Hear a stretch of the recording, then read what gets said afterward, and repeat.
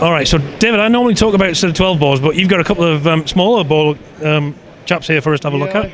Um, we've been asked a lot for smaller calibers. Mm-hmm. Uh, the trend is obviously small caliber, long barrel.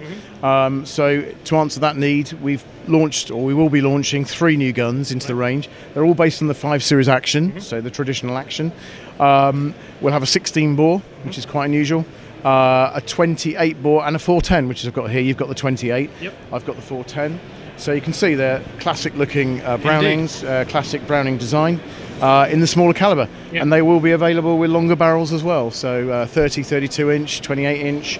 Um, so it's just a, an answer to the sort of the consumer demand. Really. I think there's definitely room in the market for them because you're either looking at something really, really cheap or something incredibly expensive. Yeah, so exactly. there's Yeah. definitely room. Yeah, well, And- particularly 16 bore. It's uh, Yeah. it's a, ca- a popular caliber, but nobody shoots it because it's so rare and the Yeah. cartridges are so expensive. So again, they look really well. They just look like scaled down versions of the 525. They're really that's, nice. that's exactly what it is. It's Yeah. the same action, so you know it's reliable, it's proven, uh, with uh, obviously different sets of barrels and. Yep.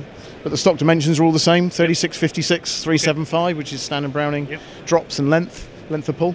Um, so you know it's going to be a winner. and available.